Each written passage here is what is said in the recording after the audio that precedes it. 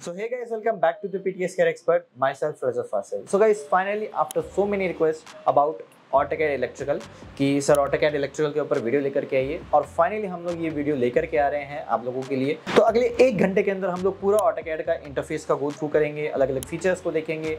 कैसे circuit diagrams पे काम किया जाता है, कैसे हम यहाँ पे ट्रांसफॉर्मर्स के ऊपर स्विचेस के ऊपर काम कर सकते हैं अलग अलग सर्किट डायग्राम्स कैसे क्रिएट किए जाते हैं सिंगल लाइन डायग्राम्स को कैसे क्रिएट किया जाता है, वो सारी चीज़ें हम यहाँ पे डिटेल में कवर करेंगे ओके अब देखिए, जब आप as an electrical engineer AutoCAD के ऊपर काम करते हैं नॉर्मली तो आपको थोड़ी सी दिक्कतें फेस करनी पड़ती है। अब देखिए ऑटोकैड ड्राफ्टिंग में तो चलिए सही है कि आप ड्राफ्टिंग वगैरह कर लेते हैं, लेकिन ज़्यादा डिटेल्स आपके पास अवेलेबल नहीं होती, क्योंकि वहाँ पे अगर आप कोई लाइन बनाते हो तो वो लाइन ही कंसिडर होती, खाली ऑब्जेक्ट कंसिडर होता है, लेकिन उसके साथ कोई डिटेल अटैच नहीं है या उसके साथ कोई स्टैंडर्ड अटैच नहीं है। जहाँ तक बात करें ऑटोकैड इलेक्ट्रिकल की, कि अगर जैसे एग्ज़ाम्पल के लिए यहाँ पर अगर हम कोई स्विच भी इंपोर्ट कर रहे हैं या कोई पुश बटन लेकर के आए फ्यूज लेकर के आए तो उस इक्विपमेंट की पूरी डिटेल अवेलेबल होगी, चाहे वो उसकी कंपनी की मैन्युफैक्चरिंग डिटेल हो, उसकी एम्पियर जो है वो कितना है, उसका वोल्टेज रेटिंग कितना है, वो सब कुछ हमें उसके अंदर क्लियर होता है। आप वहाँ पे ज़्यादा फंक्शनलिटी को अच्छे से समझ सकते हैं और रिपोर्ट हमें जनरेट करनी हो, चाहे हमें एक ऑटोमेटिक सिस्टम क्रिएशन करना हो सर्किट डायग्राम्स बनाने हो, और वो भी इन जस्ट फ्यू सेकेंड्स तो आप वहाँ पे अच्छे से काम कर सकते हैं डिटेल में काम कर सकते हैं।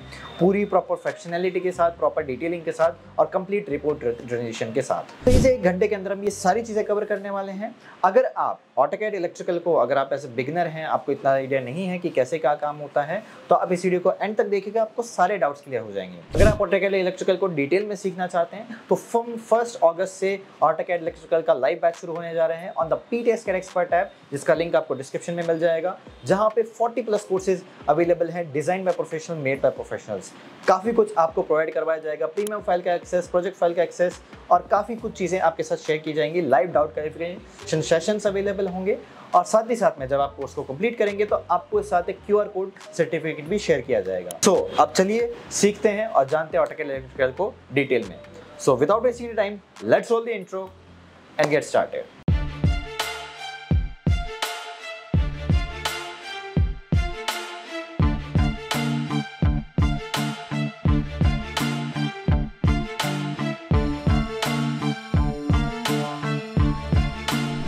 तो ऑटो कैड इलेक्ट्रिकल इंटरफेस पर स्विच करने के लिए मुझे यहाँ से वर्क स्पेस सेटिंग्स पे आएँगे हम लोग। चूँकि ऑटो कैड पर काम करना था मुझे आपको इंटरफेस दिखाना था तो टू डी ड्राफ्टिंग एनोटेशन पर हम लोग काम करेंगे, लेकिन जब ऑटो कैड इलेक्ट्रिकल पे काम करना है मुझे तो आप यहाँ पे देख पा रहे होंगे कि A C A D E and two D drafting annotation से लिखा हुआ है। A C A D is AutoCAD E for electrical इसको हम लोग एक्सेस करेंगे। तो जो लोग इस इंटरफेस के लिए नए हैं मैं आपको ये चीज़ बता दूँ कि कैसे आ, समझ समझेंगे। देखिए यहाँ पे क्या ऐड होता है? होम टैब पहले भी था। अब यहाँ पे आपका project schematic panel reports import data add हो गया है। आप यहाँ पे देख पा रहे होंगे।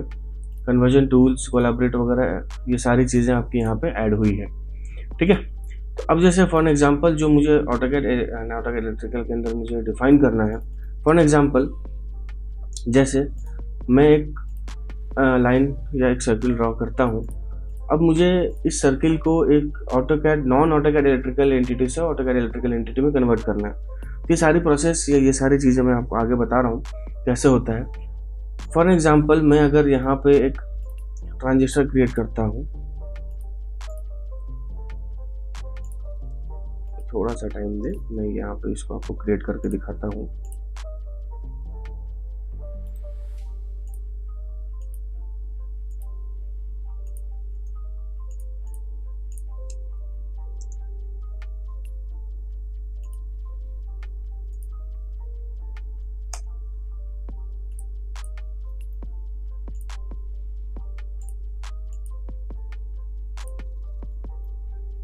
ठीक है? तो ये मैंने सिर्फ़ और सिर्फ़ ऑटो कैड के अंदर बनाया लेकिन यही चीज़ जब मेरे किसी इक्विपमेंट में, जब ऑटो कैड इलेक्ट्रिकल के अंदर ये सारी चीज़ें मुझे ड्रॉ करनी होगी तो उसके लिए मुझे ऑटो कैड बेसिक्स का ज़रूरत पड़ेगा, जो कि मेरे, मैंने आपको भी बना के दिखाया अब मैं एक बार बेसिक से स्टार्ट करता हूँ। जैसे फॉर एग्जांपल ये मान लीजिए मेरे पास लाइन है। अब इस लाइन को मुझे समझ नहीं आ रहा है कि मैं इस लाइन को वायर में कैसे बताऊँ? या ऑटोकैड इलेक्ट्रिकल के अंदर, या ऑटोकैड में जब मैं काम कर रहा हूँ तो ऑटोकैड में काम करते हुए एज ए लाइन ट्रीट कर रहा है। लेकिन जब मैं ऑटोकैड इलेक्ट्रिकल पे आऊँगा तो यहाँ पे आप देख पा रहे होंगे स्कीमेटिक है। मुझे किसी भी तरीके का अगर ऑटो ऑटोकैड की सर्किट पे काम करना है तो दैट इज़ वो हमें स्कीमेटिक के अंदर ही काम करना है। जब स्कीमेटिक स्कीमेटिक का बेसिक मतलब होता है जो अं-, अंदर के इंटरनल सर्किट का अरेंजमेंट होता है दैट इज़ नॉन स्कीमेटिक अब नेक्स्ट ऑप्शन आता है जो कि स्कीमेटिक के बाद जो हम लोग यूज़र इंटरफेस हार्ड इंटरफेस देखते हैं वो हमारा होता है पैनल जैसे कि अगर हम लोग अपने डे टू डे लाइफ में घर पे देखें तो वो हमारा एक मोटर पैनल लगा रहता है। उस मोटर पैनल में मोटर जो स्विच ऑन स्विच ऑफ़ जो हम लोग करते हैं, वो एक्चुअली एक पैनल का पार्ट होता है, जो कि ह्यूमन इंटरफेस से इंटरेक्ट करता है। लेकिन उस ह्यूमन उस पुश बटन या उस ऑन या ऑफ़ स्विच को ऑपरेट करने के लिए उसके अंदर की जो अरेंजमेंट होती है या अंदर की जो सर्किट अरेंजमेंट होती है, उसे हम लोग स्कीमेटिक बोलते हैं। एक एक चीज़ में क्लियर करते हुए चल रहा हूँ। बिल्कुल बेसिक से। डिटेल डिटेल हम लोग लेटर सेक्शंस में या वीडियोस में हम लोग कवर करेंगे, जहाँ पे मैं पॉइंट टू पॉइंट एक एक चीज़ों को मैं डिटेल करते हुए चलूँगा। ये जो भी हम लोग स्कीमेटिक डिज़ाइन करेंगे, उसी में चीज़ के अंदर हम लोग पैनल भी डिज़ाइन करेंगे। तो मेरा ये कहना था कि जब मैं ऑटोकैड पे काम कर रहा हूँ तो हाउ कैन आई ट्रीट या हाउ कैन आई अंडरस्टैंड कि ऑटोकैड में ये वायर है या ऑटोकैड के अंदर ये इलेक्ट्रिकल है? तो डिफरेंसेस क्या क्या है? अब जैसे मान लें कि यहाँ पे मैं एक एक ओवरलैप करता हूँ, यहाँ पे एक ऑटोमेटिक जंक्शन बन जाना चाहिए ऑटोमेटिक लैपिंग ओवरलैपिंग दिखना चाहिए। तो वो चीज़ लाइन के अंदर पॉसिबल नहीं है, क्योंकि ऑटोकैड इसको simply line treat as a line treat कर रहा है। तो मैं आता हूँ स्कीमेटिक के अंदर। स्कीमेटिक के अंदर के आने के बाद यहाँ पे आपको ये वायर सेक्शन दिख रहा होगा इंसर्ट वायर और वायर नंबर्स ये सारी चीज़ें मैं आप लोग एक one to each and everything मैं आपको कवर करूँगा।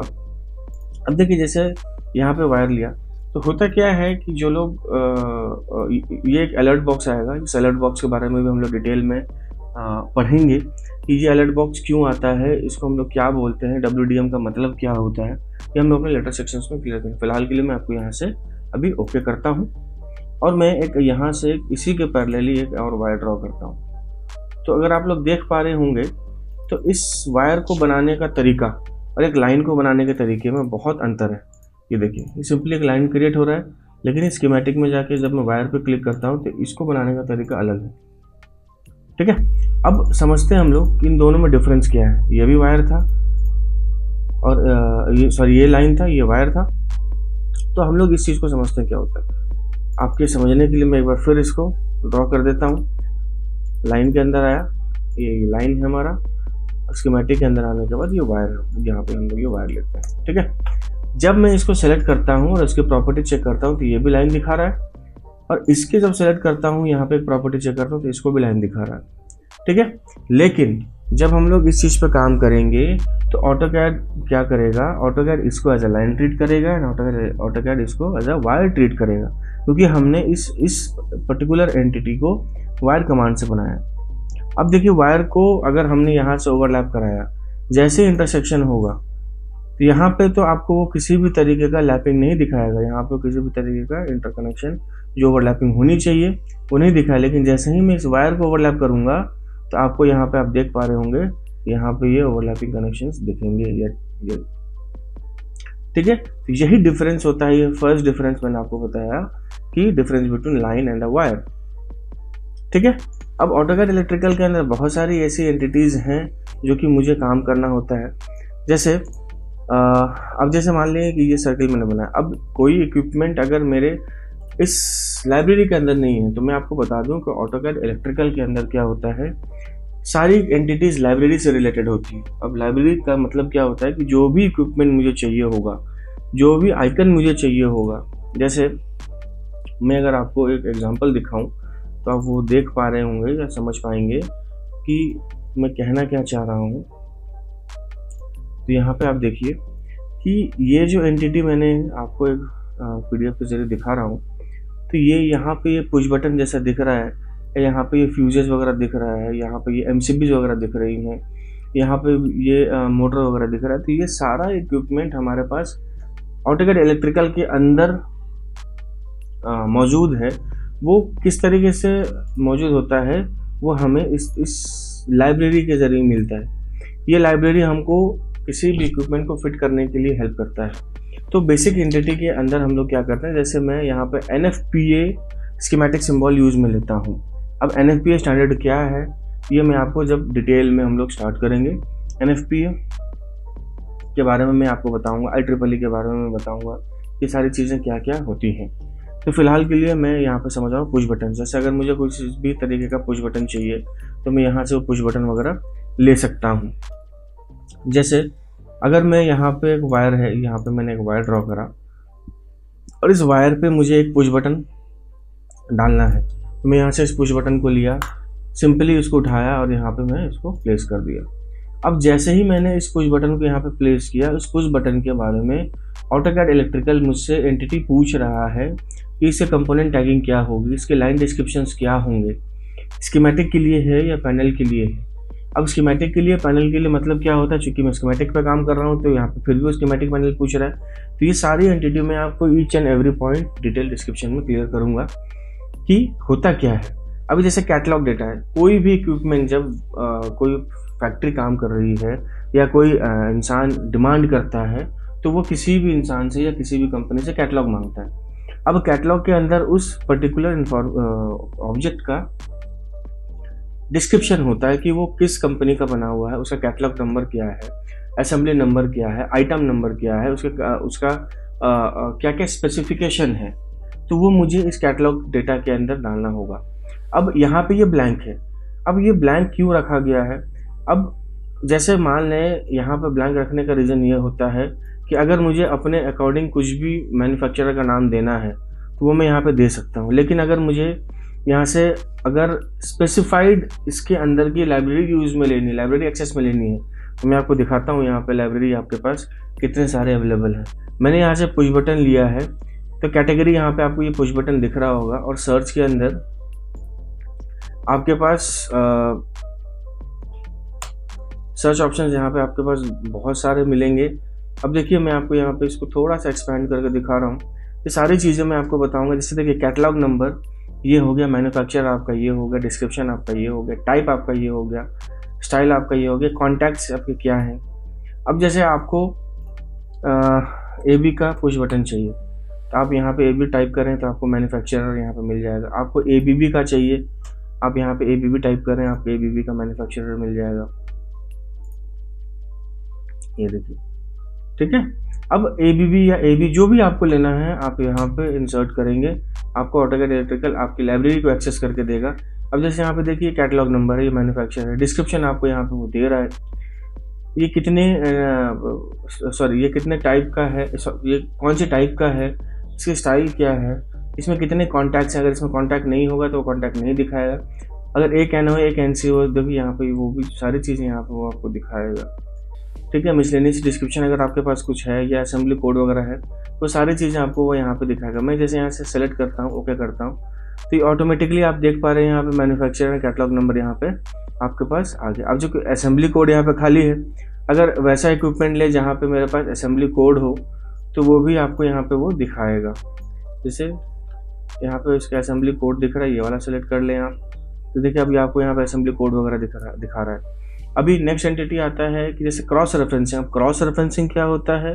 तो ये जब मैं आपको पेरेंट चाइल्ड रिलेशनशिप बताऊँगा कि एक पेरेंट चाइल्ड रिलेशनशिप में क्या इक्विपमेंट कौन से इक्विपमेंट को हमको पेरेंट रखना है, कौन से इक्विपमेंट को हमको चाइल्ड रखना है। अगर इसका मैं एक बेसिक एग्जांपल दूँ तो वो इस तरीके से होता है कि अब जैसे घर में मेन एमसीबी जो आती है, जहाँ पर मेरा घर का एक मेन एमसीबी आता है, वहाँ पर आपने लिंक्ड एम देखा होगा। फिर उसके बाद पर रूम वाइज एम को अलग किया जाता है। तो linked M C B is an example जहाँ पर मैं पेरेंट एंड चाइल्ड रिलेशनशिप की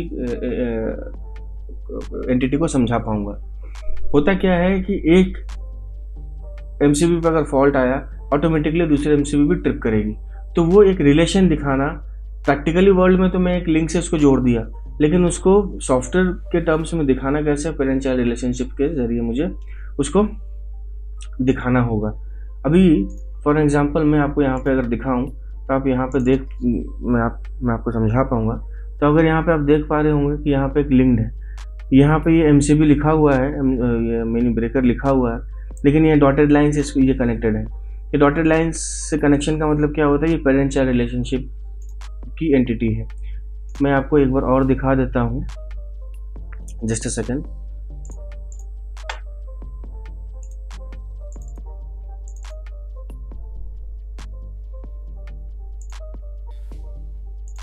ये देखिए।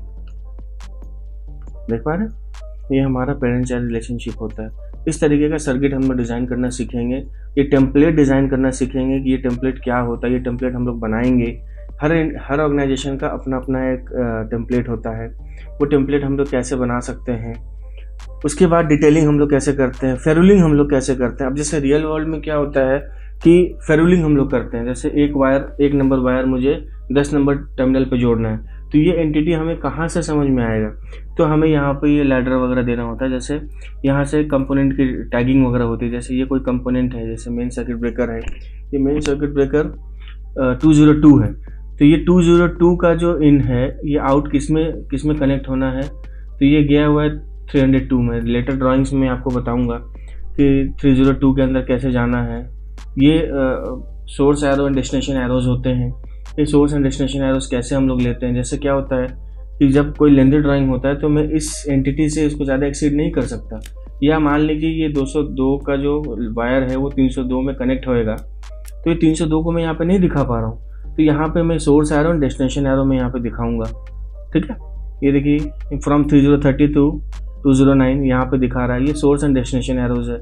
इसके बारे में मैं आपको बताऊँगा। ये पेरेंट चाइल्ड लिंक्ड इक्विपमेंट्स है, ये भी मैं आपको बताऊँगा कैसे इक्विपमेंट्स को हम लोग यूज़ में लेते हैं, ठीक है? ये केबल मार्कर्स हैं, ये केबल मार्कर्स हम लोग कैसे लेते हैं? ब्लैक केबल है रेड केबल है ब्लू केबल है येलो केबल है, ठीक है? उसके बाद हमारे पास डिस डिस्कनेक्टर मीन्स वगैरह क्या क्या हम लोग ले सकते हैं, ये प्रोटेक्टिव यूनिट्स हैं। फिर मोटर वगैरह कैसे हम लोग डालेंगे? तो किसी भी इक्विपमेंट को स्टार्ट करने या सर्किट में डालने से, के लिए उसकी जनरल एडमिनेंस क्या क्या होती है? जैसे उसकी प्रोटेक्टिव एंटिटीज़ क्या क्या होंगी? स्टार्टिंग एंटिटीज़ क्या क्या होंगी? किसी भी मोटर को स्टार्ट करने के लिए क्या क्या चीज़ चाहिए? ठीक है? इस तरीके से हम लोग चीज़ों को डिज़ाइन करेंगे। तो जो मैं आपको समझा रहा था, ये आइकन मेन्यू आइकन मेन्यू के अंदर क्या होता है कि हमारे पास ऑलमोस्ट सारे इक्विपमेंट्स जो मुझे रिक्वायर पड़ेंगे, जो मुझे रिक्वायरमेंट होंगी, वो सारे रिक्वायरमेंट मैं यहाँ से यूज़ में ले सकता हूँ। जैसे अगर मुझे किसी भी तरीके का आ, ये चाहिए आ, क्या बोलते हैं फ्यूजेस चाहिए तो मैं यहाँ से फ्यूजेस वगैरह ले सकता हूँ। सर्किट ब्रेकर चाहिए तो मैं यहाँ से सर्किट ब्रेकर वगैरह ले सकता हूँ। मैं आपको एक बार फिर देख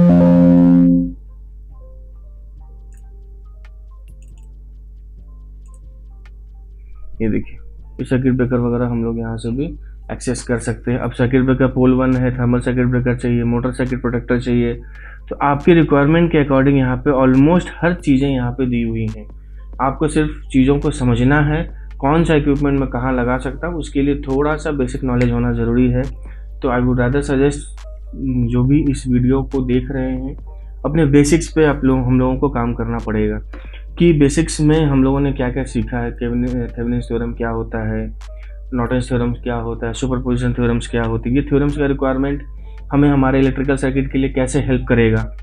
ठीक है, क्या जो बेसिक लॉज हैं ओम्स लॉज हो गए, केविल हो गया के हो गया, ये सारी चीज़ें हम लोग जब डिटेल वीडियो डिस्क्रिप्शन में आएँगे तो वो मैं आपको वहाँ पर समझाऊँगा क्या होता है, नहीं होता जब तक बेसिक क्लियर नहीं होगा, आप किसी भी तरीके के सर्किट को समझ नहीं पाओगे, उसकी बिहेवियर को आप समझ नहीं पाओगे अंटिल आप उसकी डिटेल में जाओ।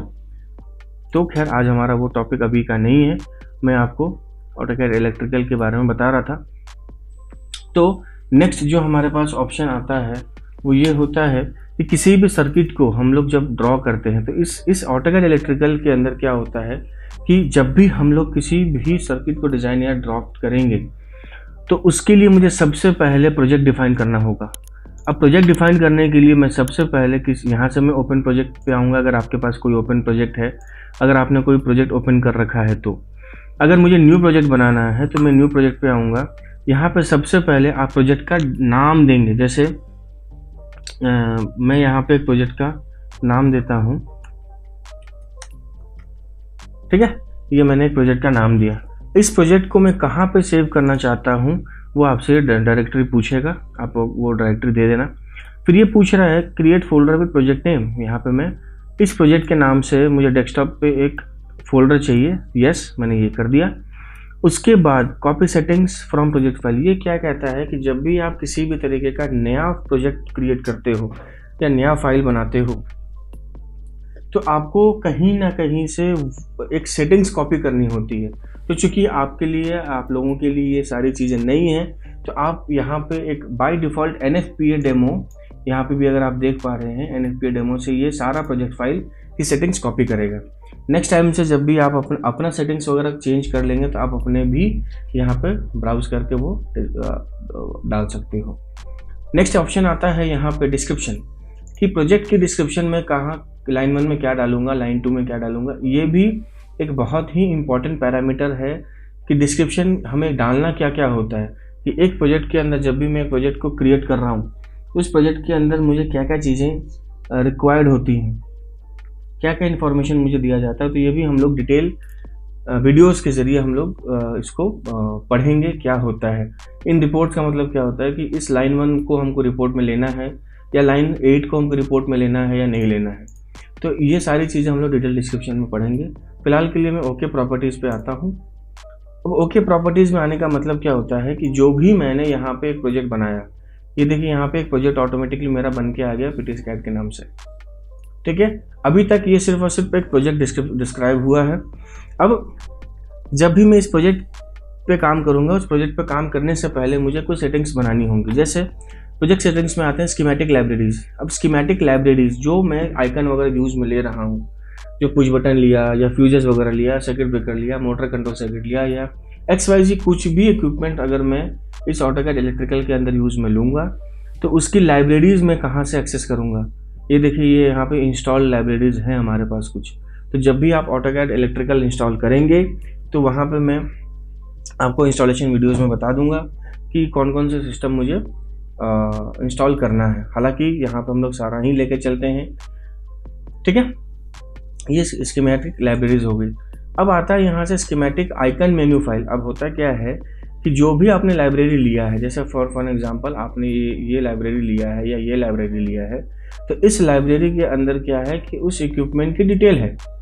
लेकिन वो इक्विपमेंट रियल वर्ल्ड में या ऑटोकैड के डिज़ाइनिंग में दिखेगा कैसे? तो वो मैं यहाँ से एक डॉट डी फ़ाइल होता है डेटाबेस फ़ाइल होता है। वो यहाँ पे भी ऑटोमेटिक वो ले लेगा। तो ये दो स्कीमेटिक के होते हैं, दो पैनल के होते हैं। अब देखो पैनल के लिए भी ऑटोमेटिक ये जो हम लोगों ने इंस्टॉलेशन के टाइम पाथ दिया था, वो ये पाथ यहाँ पे दिख रहा है।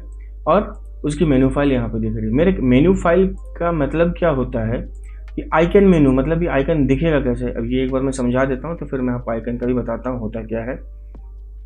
उसके बाद कैटलॉग लुक का प्रेफरेंसेस ये सारी चीज़ें मैं आपको डिटेल डिस्क्रिप्शन में बताऊँगा। कंपोनेंट्स आता है कि इस प्रोजेक्ट के अंदर जो भी हम लोग कंपोनेंट वगैरह यूज़ में लेंगे तो उसकी टैग फॉर्मेट क्या होगी? मीन्स इसकी फैमिली को हम लोग डिफाइन कैसे करेंगे? तो उसकी सिंटेक्स होती है percent F percent N percent F is for your family and percent N is for your number अगर आपको यहाँ पे, अगर मैंने आपको दिखाया था, यहाँ पे जो सर्किट ब्रेकर या जो पुश बटन या एक्स बजट कुछ भी हम लोगों ने लगाया था तो उस नंबर के सामने उसका जैसे two zero two M C M C B आया था तो two zero two is the percent N and percent F is the M C B right उसी तरीके से वायर नंबर का फॉर्मेट हम लोग क्या रखेंगे? उसी तरीके से क्रॉस रेफरेंसिंग हम लोग क्या रखेंगे? स्टाइल्स हम लोग क्या रखेंगे? स्टाइल के अंदर एरो स्टाइल क्या चाहिए? सोर्स एरो का डेस्टिनेशन एरो का पीएलसी का fan in in and out module कैसे डालते हैं हम लोग? वायरिंग का स्टाइल कैसे चाहिए? जैसे देखिए, हम लोग को जो वायर क्रॉस दिखाना है तो वो लूप कैसे दिखाएँगे?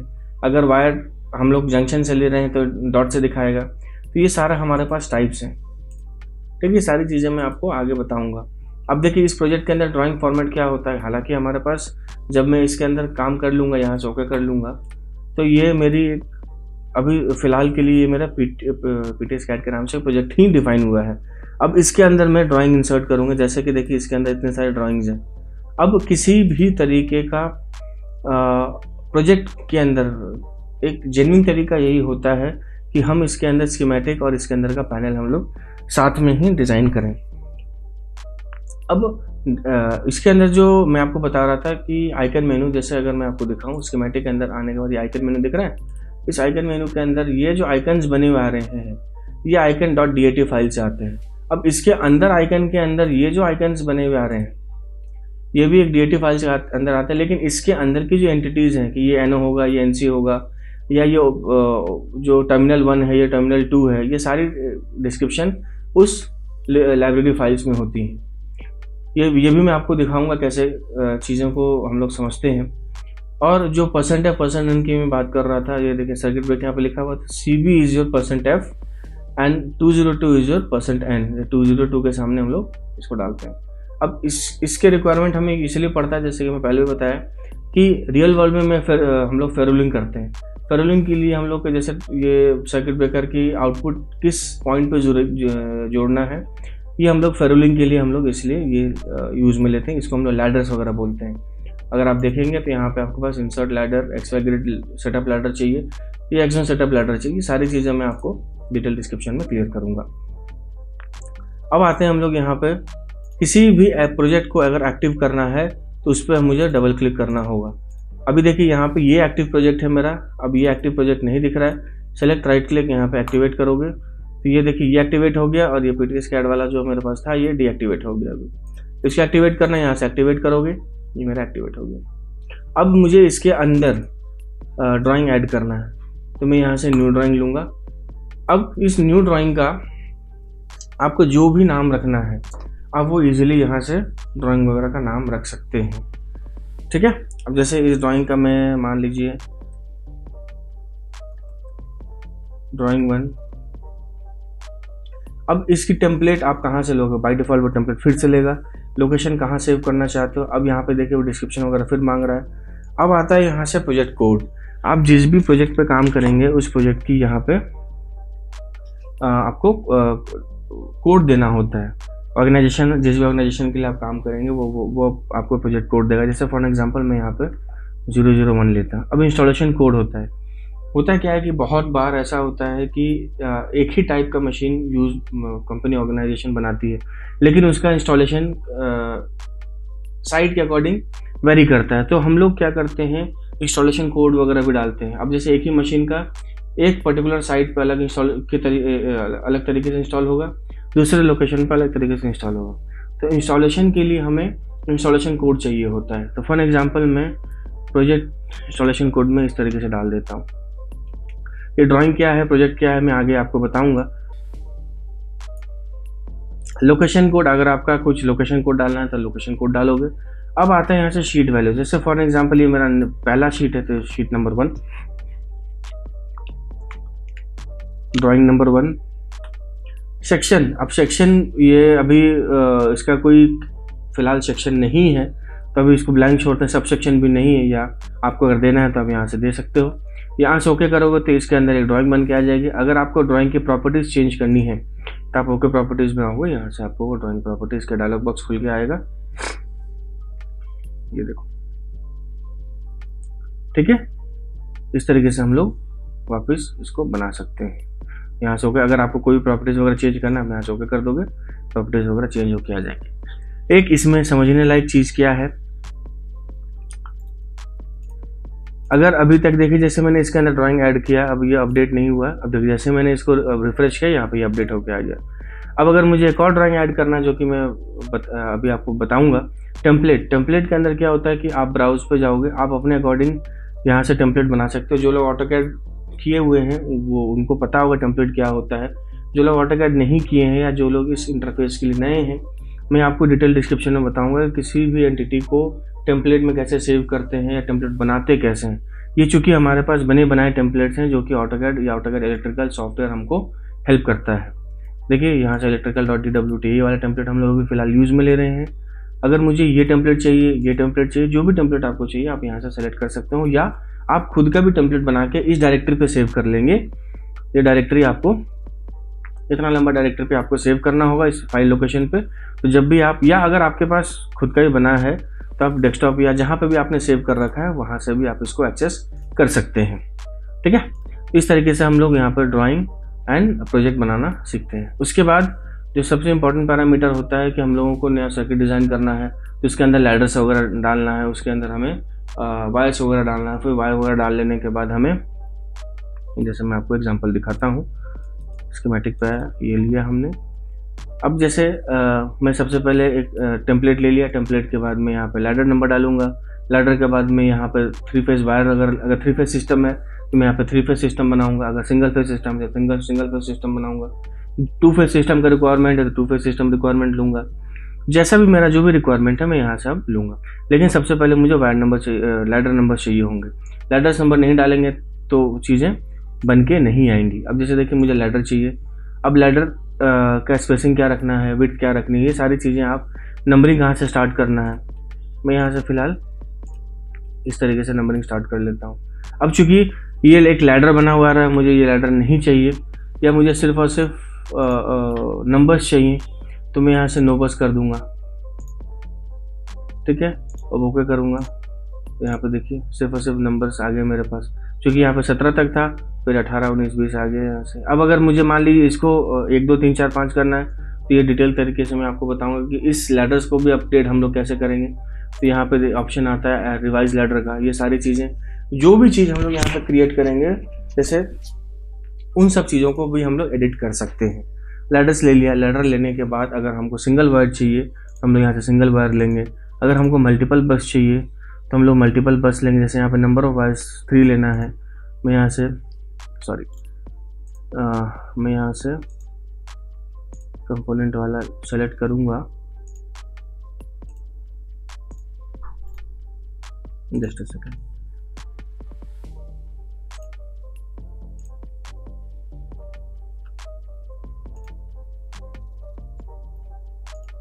ये देखिए मैंने यहाँ से वायर ले लिया। अब मैं यहाँ से अगर कोई भी एक एग्जैक्ट इक्विपमेंट जैसे मुझे यहाँ पे एक फ्यूज़ वगैरह लगाना है, या सर्किट ब्रेकर वगैरह लगाना है, जो भी आपको लगाना है, जैसे फॉर एग्जांपल मैं यहाँ पे फ्यूज़ लगाया।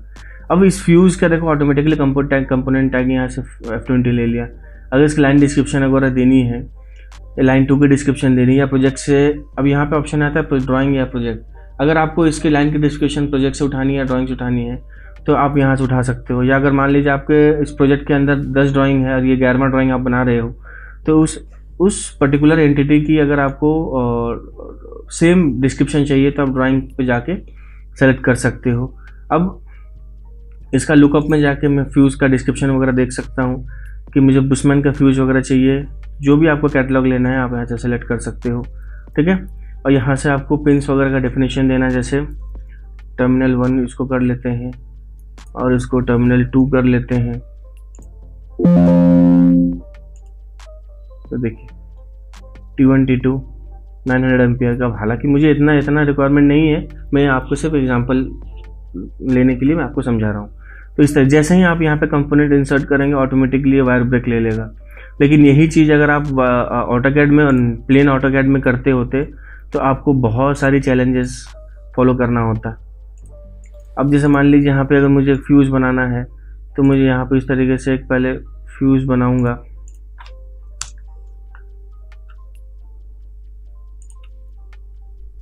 ठीक है? अब फिर भी ये अभी ट्रिम ऑटोमेटिक ट्रिम नहीं होगा। मुझे इसको फिर ट्रिम करना होगा, फिर मुझे इसके अंदर टेक्सटिंग करनी होगी। फिर टेक्स्ट करने के बाद मुझे इसके अंदर ब्लॉग बनाना होगा। ब्लॉग बनाने के बाद एट्रीब्यूट्स बनाना होगा। तो मेरे लिए चैलेंजेस बहुत ज़्यादा हो जाता है।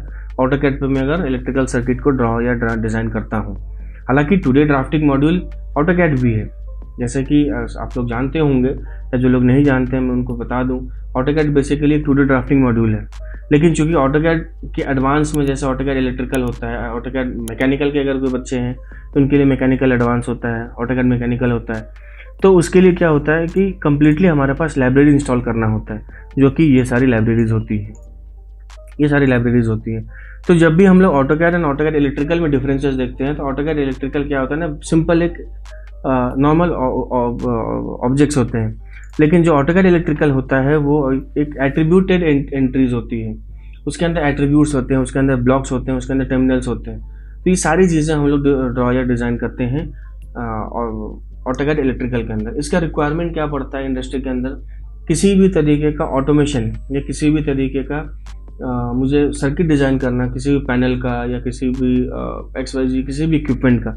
तो वहाँ पे एक सिस्टमेटिक तरीके से हमें ऑटोकैड इलेक्ट्रिकल का रिक्वायरमेंट पड़ता है जहाँ पे हम लोग कंप्लीट फेरुलिंग का कंप्लीट लैडर का कंप्लीट सिस्टम का हम लोग डिज़ाइनिंग करते हैं with each and every concept तो मैं आपको हर एक टूल को यूज़ करना बताऊँगा विद इंडस्ट्रियल यूजेस की इसका यूजेस हम लोग कैसे करेंगे। इस तरीके से हम लोग लैडर्स वगैरह इंसर्ट करते हैं। ठीक है? आगे मैं आपको और भी कंपोनेंट्स वगैरह इंसर्ट करके बताऊँगा कैसे किस तरीके से कंपोनेंट्स को यूज़ में हम लोग ले सकते हैं। जैसे फॉर एन एग्ज़ाम्पल अब नेक्स्ट एंटिटी आता है जो कि ऑटो कैड इलेक्ट्रिकल का एक सबसे अच्छा चीज़ है वो ये है जैसे आ, मैं आपको दिखाऊँ। जैसे मान लें ये मेरे पास कोई एक आ, हमने आ, एक सर्किट बना रखा है राइट अब इस सर्किट का मुझे एक इलेक्ट्रिकल ऑडिट करना है। इलेक्ट्रिकल ऑडिट का मतलब क्या होता है कि कौन सा कंपोनेंट कहाँ है या किसी तरीके का कोई वायरिंग नंबर तो मिसमैच नहीं हो गया या कहीं कहीं से टर्मिनल तो छूट नहीं गया है। ठीक है? तो ये ऑटोकैड के पास ऑटोकैड इलेक्ट्रिकल के पास ये ऑप्शन रहता है। ये एक फीचर है ऑटोकैड इलेक्ट्रिकल का कि आप अपना इलेक्ट्रिकल ऑडिट कर सकते हैं। आप रिपोर्ट्स में जाएँगे। रिपोर्ट में जाने के बाद यहाँ पे देखे रहे होंगे आप electrical audit D W G audit and single error list audit का भी ऑप्शन आता है। तो मैं यहाँ पे इलेक्ट्रिकल ऑडिट देखता हूँ कि इलेक्ट्रिकल ऑडिट क्या होता है। तो मैं अगर आप लोग इसको देखेंगे, यहाँ पे लिखा हुआ आता है कि detects problem related to wires and components and describe the problems in dialog box on a series of tabs अब चूँकि ऑटो कैड का ये सबसे अच्छा एक एंटिटी कहेंगे कि इसके अंदर एक ड्रॉप डाउन मेन्यू आता है, इसको शॉर्ट पॉपअप मेन्यू बोलते हैं और इसका ये लॉन्ग पॉपअप मेन्यू अगर फिर भी आपको इसका डिटेल डिस्क्रिप्शन चाहिए हो तो आप किसी भी इक्विपमेंट पे चले जाना, किसी भी आइकन पे चले जाना। जैसे देखिए, ये वाला है एक शॉर्ट मेन्यू आया, अब इसको हम लोग बोलते हैं लॉन्ग मेन्यू अगर फिर भी आपको इसका डिस्क्रिप्शन और चाहिए तो F1 प्रेस कर देना। इसके बारे में और भी आपको डिटेल तरीके से डिस्क्रिप्शन आपको दिखा देगा, किसी भी इक्विपमेंट पर जैसे स्कीमेटिक पे आया या जो मैं आपको रिपोर्ट दिखा रहा था इलेक्ट्रिकल डी डब्ल्यू ऑडिट इस पर गया, इस पर आया। अगर और भी डिटेल डिस्क्रिप्शन चाहिए तो एफ़ प्रेस कर दो। आपको इसके बारे में हर एक चीज़ बता देगा, क्या होता है, नहीं होता ठीक है? अब यहाँ से मैं इलेक्ट्रिकल ऑडिट लेता हूँ। जैसे ही मैं यहाँ से इलेक्ट्रिकल ऑडिट पे क्लिक किया तो एक मिनट एक सेकेंड अभी चूँकि ये P T S CAD dot D W P W D P ही मेरा एक्टिव प्रोजेक्ट है तो चूँकि वो वहाँ पर दिखाएगा नहीं तो मुझे उसके लिए सबसे पहले इसको एक्टिव प्रोजेक्ट करना होगा। ठीक है? अब आइए रिपोर्ट्स के अंदर इलेक्ट्रिकल ऑडिट में आते हैं। अब यहाँ पे आपको इलेक्ट्रिकल ऑडिट के बारे में यहाँ पे आपको दिखाएगा एन एफ़ डेमो वाला राइट क्योंकि ये मेरा एक्टिव प्रोजेक्ट है। अब आता है कि इस पूरे प्रोजेक्ट पे हमको इलेक्ट्रिकल ऑडिट करना है या इस पर्टिकुलर एक्टिव ड्राइंग पे करना है। अगर पूरे प्रोजेक्ट पे करो तो 54 इश्यूज़ दिखेंगे। अगर आपको सिर्फ़ एक्टिव ड्राइंग पे करना है तो आपको 17 इश्यूज़ दिख रहे हैं। अभी 17 इशू क्या है भाई साहब? तो वो में हम लोग यहाँ से इस तरीके से देखेंगे, देखिए। अब 17 इश्यूज़ मेरे पास क्या क्या हैं? थोड़ा सा मैं इसको यहाँ पे जूम कर लेता हूँ।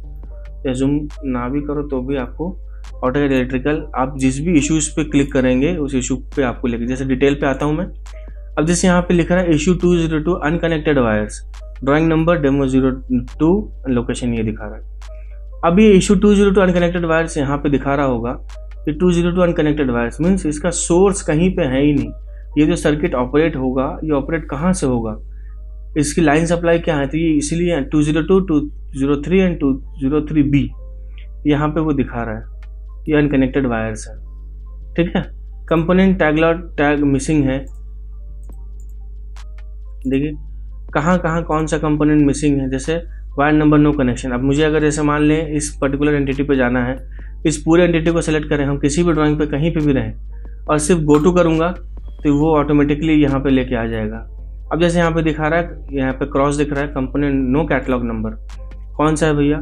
तो हम लोग क्या करें, इसको सेलेक्ट किया गो टू करेंगे तो ऑटोमेटिकली वो हमको यहाँ पे ग्राउंड वाले पे ये कंपोनेंट का क्या बोलते हैं कैटलॉग नंबर नहीं डिफाइन किया हमने। तो यहाँ पे हम लोग इसको डिफाइन करेंगे। अगर हमारे पास कुछ ऐसा ऑप्शन है तो। अब जैसे कंपोनेंट नो कनेक्शन है, इसमें कनेक्शन नहीं, इसको सेलेक्ट करके गो टू करेंगे। तो इसमें देखिए कनेक्शन नहीं दिख रहा है। अब क्या फॉल्ट आया वो हम लोग आगे देखेंगे। ठीक है? वो कनेक्शन कहाँ से आना है? क्योंकि ये मेन रिसेप्टिकल है। तो ये मेन रिसेप्टिकल यहाँ से आना था। तो चूँकि यहाँ पर मेरे पास सोर्स है नहीं, इसलिए यहाँ पर यह फॉल्ट दिखा रहा है। ठीक है? तो इस तरीके से हम लोग किसी भी ड्राइंग के अंदर इलेक्ट्रिकल ऑडिट कर सकते हैं project wise and active drawing wise ये एक यूएसपी है ऑटोकैड इलेक्ट्रिकल का, जो कि ऑटोकैड में आपको ये सारे ऑप्शन नहीं मिलेंगे।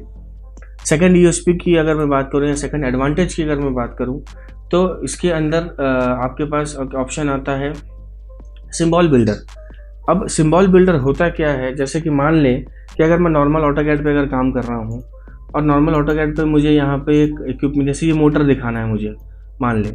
ये एक मुझे मोटर दिखाना है, जैसे चूँकि यहाँ पे अगर आप देख रहे हो तो यहाँ पे भी एक मोटर है।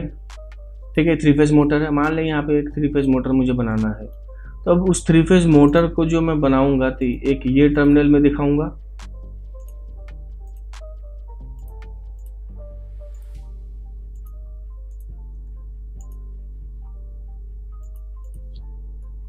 जस्ट अ सेकेंड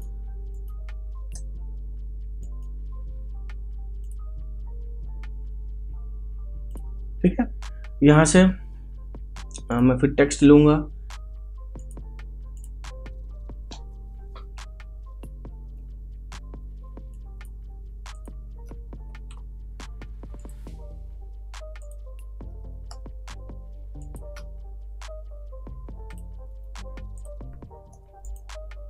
ठीक है? लेकिन अभी भी ये जो मोटर हमने बनाया है ये हमारा नॉन ऑटोकैड इलेक्ट्रिकल एंटिटी ही है। तो चूँकि हमें ये सिम्बॉल बिल्डर का रिक्वायरमेंट क्यों पड़ता है, आप यहाँ पे देख पा रहे होंगे सिम्बॉल बिल्डर ठीक है?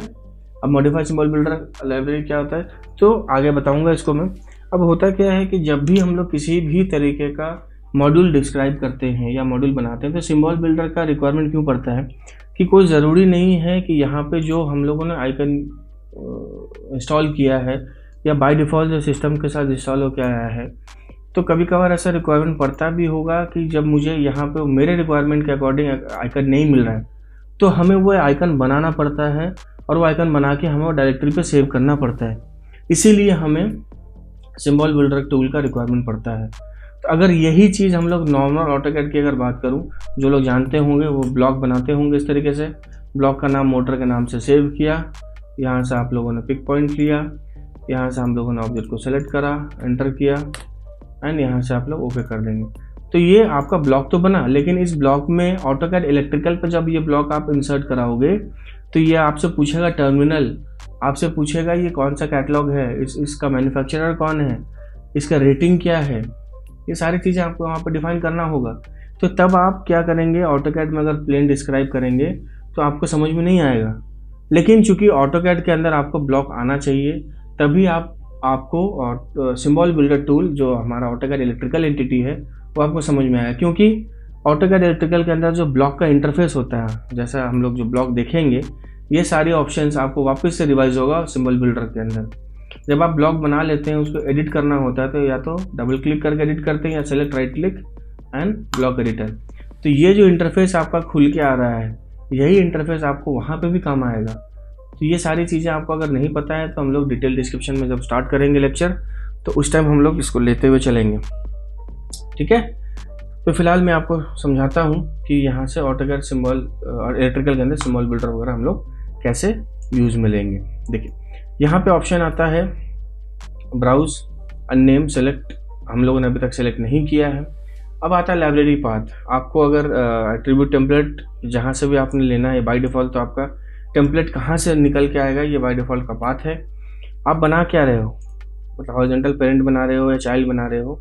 अब ये पेरेंट चाइल्ड क्या होता है, ये मैं आपको आगे डिस्क्रिप्शन में आपको बताऊँगा। फ़िलहाल के लिए हॉरिजेंटल पेरेंट लेता हूँ। टाइप क्या है? ये हम लोग एक मोटर बना रहे हैं। मोटर बनाने के लिए यहाँ से हम लोग सेलेक्ट ऑब्जेक्ट करेंगे, चूँकि ये ऑलरेडी पहले से ब्लॉक बना हुआ है। इसको हम लोग ब्लॉक से मतलब नॉर्मल ऑब्जेक्ट पे ले आते हैं। अब मेरा ये नॉर्मल ऑब्जेक्ट पे आ गया। ठीक है?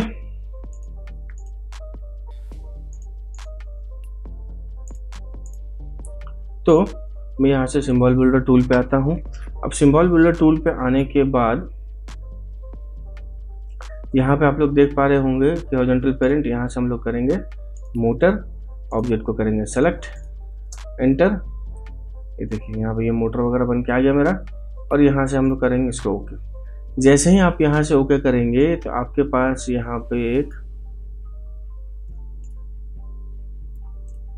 ऑप्शंस ओपन होके आ जाएगा कि टैग वन क्या रखना है। ठीक है? मैन्युफैक्चरिंग डेटा के मैन्युफैक्चरिंग कैटलॉग क्या रखना है? कैटलॉग नंबर क्या रखना है? असेंबली कोड क्या रखना है? ये शायद अभी जब हम लोग प्रोजेक्ट वगैरह कर रहे थे ड्राइंग वगैरह कर रहे थे तो ये सारी चीज़ें हम लोगों ने अभी देखा था। रेटिंग इसी क्या होगी? तो ये सारा ऑप्शन ये सारा एट्रीब्यूट्स हम लोग को इसके अंदर इंसर्ट करना होगा। जैसे ये टैग मुझे यहाँ पे ऑप्शन आता है इंसर्ट एट्रीब्यूट यहाँ पे ये प्रॉपर्टीज़ यहाँ पे एडिट कन्वर्ट टैक्स टेक्स्ट ये सारी चीज़ें मैं आपको डिस्क्राइब करूँगा। जैसे मुझे ये टैग वन इंसर्ट करना है। अब टैग वन मैं यहाँ पे इंसर्ट करना चाहता हूँ। मैंने यहाँ पे इंसर्ट कर दिया। तो जिस जिस इक्विपमेंट को आप इंसर्ट करते हुए चलेंगे, वहाँ पे वो ऑटोमेटिकली चेक होता हुआ चलेगा। मैन्युफैक्चरर को हम लोग इंसर्ट करना चाहते हैं। अब देखिए मैन्युफैक्चरर का कैटलॉग बहुत छोटा सा आ रहा है। तो अगर मुझे इसको एडिट करना है तो इसको सेलेक्ट करके इसके टेक्स्ट की प्रॉपर्टीज़ हम लोग बढ़ा देंगे। यहाँ पे हाइट में, इसकी हाइट कितनी है, पहले वो चेक कर लें आप। इसकी हाइट है वन टू फाइव ज़ीरो इसको भी सेलेक्ट करके हम लोग इसके प्रॉपर्टीज़ में हम लोग कर दिया ओके किया। इसको सेलेक्ट करके इंसर्ट करेंगे। ये देखिए, उसके बाद कैटलॉग इसको भी हमें चेंज करना होगा।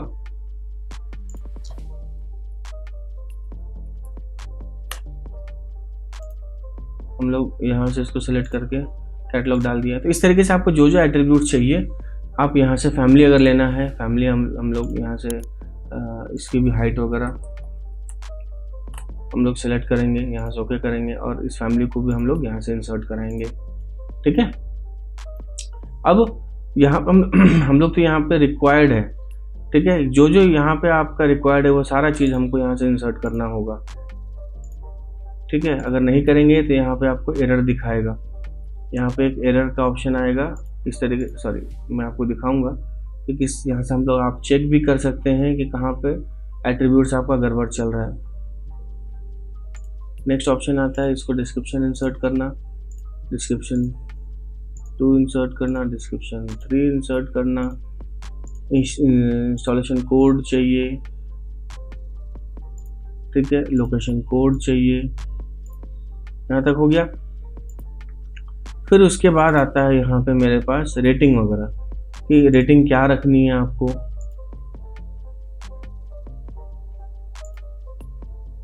रेटिंग टू इसको ऐड करना है रेटिंग वन ठीक है?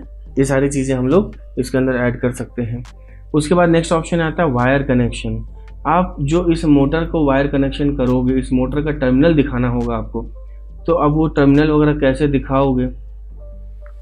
तो अब जैसे मान लें सॉरी एक मिनट, इस पे अगर आप ड्रॉप डाउन आते हैं डायरेक्शन यहाँ पे आप लेफ़्ट नन होता है टॉप नन होता है, आप पहले कहाँ देना चाहते हो? पहले मैं यहाँ पे इसको एक टर्मिनल दिखाना चाहता हूँ। टर्मिनल वन ये हो गया, ठीक है? फिर दूसरा टर्मिनल में इसको यहाँ दिखाना चाहता हूँ। फिर तीसरा टर्मिनल में इसको यहाँ दिखाना चाहता हूँ। तो थ्री फ़ेज़ मेरा मोटर हो गया, ठीक है? इस तरीके से हम लोग इसको यहाँ सब क्लोज ब्लॉक एडिटर करेंगे।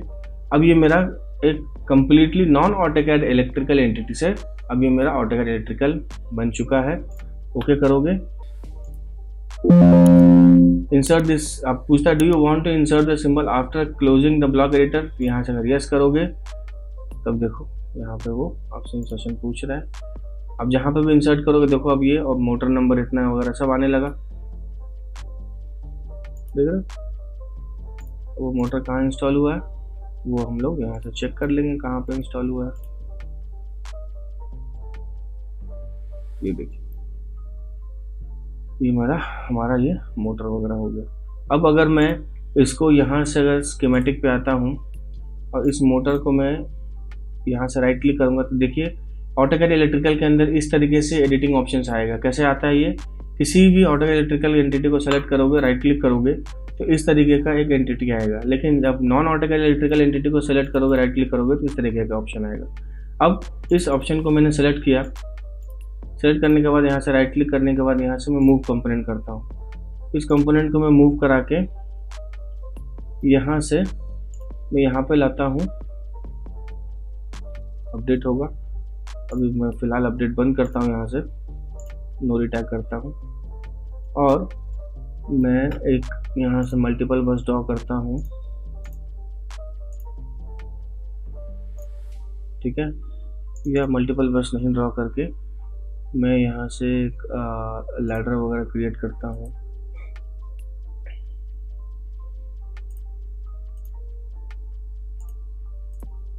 ठीक है? और इसमें के सामने देखिए, कहीं और कनेक्ट होगा ही नहीं। जब भी कनेक्ट होगा, इसी टर्मिनल पे कनेक्ट होगा। ठीक है? उसके बाद इस वाले पे लेता हूँ और इस वाले पे लेता हूँ। यहाँ पे हमने लगा दिया। अब इस मोटर को स्टार्ट या करने प्रोटेक्शन के लिए। अगर आपको जैसे सर्किट ब्रेकर वगैरह लगाना है या फ्यूजेस वगैरह लगाना है तो आप वो इजीली इसके अंदर फ्यूजेस वगैरह लगा सकते हैं। वही आप वापस आपसे कैटलॉग नंबर पूछेगा। ये देखिए। देख रहे हैं?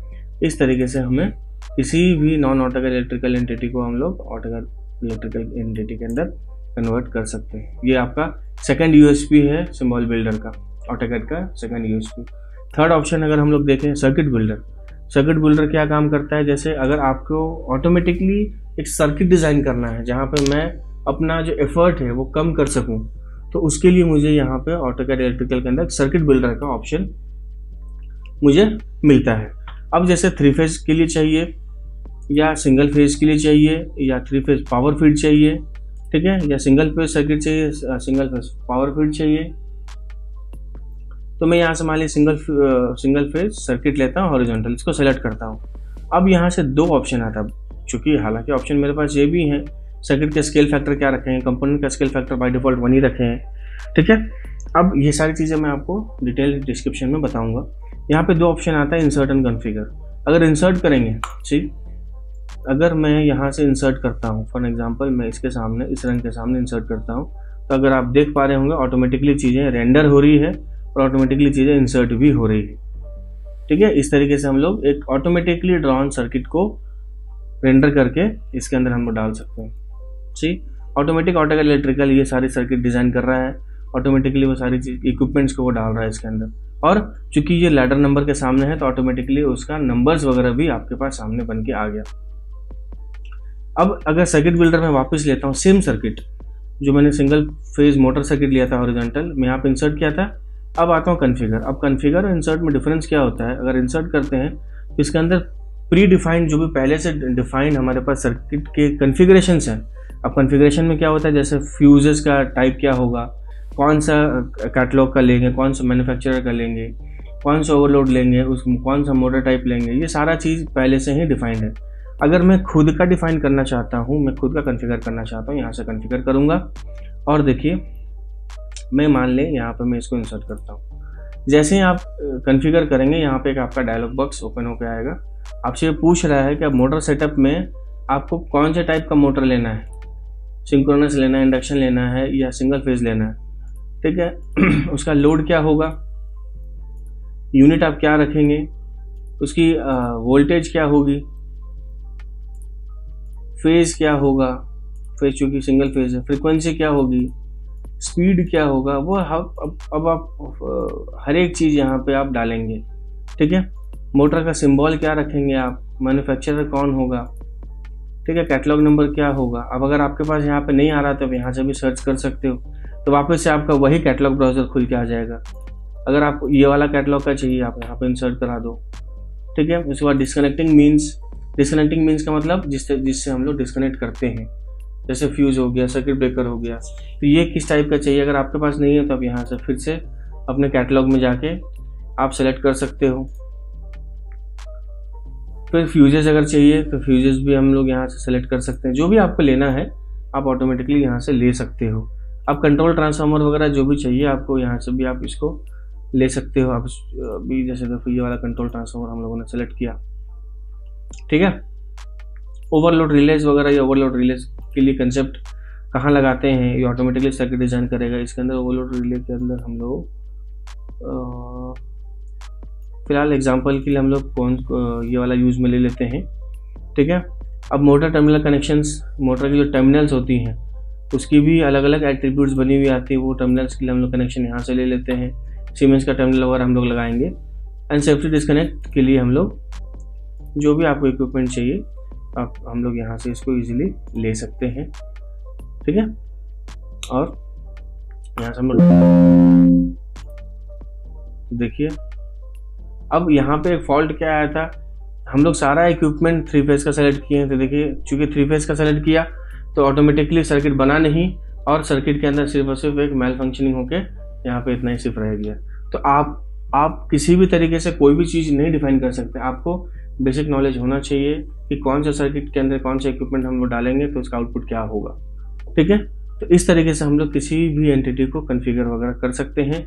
ये हमारा एक और यूएसपी था, एक और एडवांटेज था सर्किट बिल्डर का। एक और ऑप्शन होता है इसके अंदर जो हमारे पास इंसर्ट आता है इंसर्ट सेव सर्किट अगर हमारे पास पहले से प्री डिफाइंड कोई सर्किट है, वो भी हम लोग इसके अंदर इंसर्ट कर सकते हैं, उसके स्केल फैक्टर वगैरह क्या रखते हैं। ये देखिए, हमारे हमारे ऑटोकैड इलेक्ट्रिकल के अंदर पहले से बने, बनी, बनाई कुछ सर्किट है। उस सर्किट का डिस्क्रिप्शन अगर आपको पढ़ना है तो मैं आपको इन डिटेल लेक्चर्स में सारी चीज़ें बताऊँगा। कि ये मोटर स्टार्टर सिंगल फ़ेज़ या थ्री फ़ेज़ मोटर स्टार्टर कैसे हम लोग ले रहे हैं। देख, ये पहले से बनी बनाए सर्किट्स हैं। आप आप देख रहे होंगे तो बिल्कुल सेम जैसा लग रहा है। तो इस तरीके से भी हम लोग सर्किट बिल्डर से भी इंसर्ट कर सकते हैं और इंसर्ट सर्किट से भी हम लोग चीज़ों को डिज़ाइन एंड ड्राफ्ट कर सकते हैं। तो ये ऑल ये सारी चीज़ें हमारी ऑटोकैड इलेक्ट्रिकल के अंदर हम लोग पढ़ेंगे। सिलेबस के अंदर क्या क्या चीज़ें हम लोग कवर करेंगे डिफरेंसेस क्या हैं इंडस्ट्रीज़ के अंदर हम लोग कैसे इसको यूज़ में ले सकते हैं ऑटोकैड ऑटोकैड इलेक्ट्रिकल के अंदर क्या क्या और हम लोग चीज़ें सीख सकते हैं, एडिटिंग कैसे होती है सर्किट को हम लोग कॉपी पेस्ट कैसे करते हैं। तो ये सारा कंप्लीट हम लोग प्रोजेक्ट्स कैसे बनाते हैं, जो कि मैंने आपको बताया अभी स्कीमेटिक पे काम करना पैनल पे काम करना। अब जैसे देखिए, मैं अगर आपको पैनल की अगर बताऊँ तो आप यहाँ पर समझ पाएँगे, जैसे ये मेरा N F A schematic activate है। अब स्कीमेटिक के अंदर इसी का पैनल देखेंगे आप। तो ये पैनल हमारा कुछ इस तरीके से दिखता है। पैनल का मतलब क्या होता है कि हार्ड इंटरफेस मुझे क्या क्या चाहिए? ह्यूमन इंटरफेस को एक्टिवेट ह्यूमन इंटरफेस के इंट्रैक्शन के लिए हमें क्या क्या इक्विपमेंट लेना है? जैसे अगर मैं यहाँ पे कोई पुश बटन यूज़ में लिया हूँ फॉर एग्जांपल अगर मैं यहाँ पे किसी भी तरीके का पुश बटन यूज़ में लिया हूँ तो उसका डिटेल मुझे पैनल के अंदर भी देना होगा सेम कैटलॉग नंबर का। क्यों? तभी यहाँ पर वो पंचेस बनेंगे, तभी वो यहाँ पे होल होगा, तभी वो स्विचेज यहाँ पे लगेंगे या पुश बटन्स यहाँ पे लगेंगे। तो इस तरीके से हम लोग complete schematic complete panel designing हम लोग सीखेंगे। साथ के साथ हम लोग पी कैसे इसके अंदर एम्बेड करते हैं, ठीक है? वो सारी चीज़ें हम लोग इसके अंदर सीखेंगे। स्कीमेटिक हो गया पैनल हो गया, फिर हम लोग रिपोर्ट जनरेशन वगैरह भी देखेंगे। अब रिपोर्ट्स की अगर मैं बात करूँ, अगर मुझे बिल ऑफ़ मटेरियल निकालना है तो एक्टिव ड्राइंग का निकालना है या एक्टिव प्रोजेक्ट का निकालना है प्रोजेक्ट वाइज ड्राइंग वाइज मैं सारी चीज़ें वैसे कर सकता हूँ। तो यहाँ अगर आप देख पा रहे हैं तो यहाँ पे हमारे पास ऑटोमेटिकली ये रिपोर्ट्स बन के आ गया कि कैटलॉग नंबर ये है मैन्युफैक्चर ये डिस्क्रिप्शन ये है। आइटम उसका ऑलरेडी छः है। तो इस तरीके से हम लोग किसी भी ड्राइंग ऑटोकैड इलेक्ट्रिकल के अंदर चीज़ों को सीखते हैं। होप आप लोगों को ये वीडियो समझ में आया हो। डिटेल डिस्क्रिप्शन के लिए हम लोग डिटेल वीडियोस पे मिलते हैं। तब तक के लिए थैंक यू।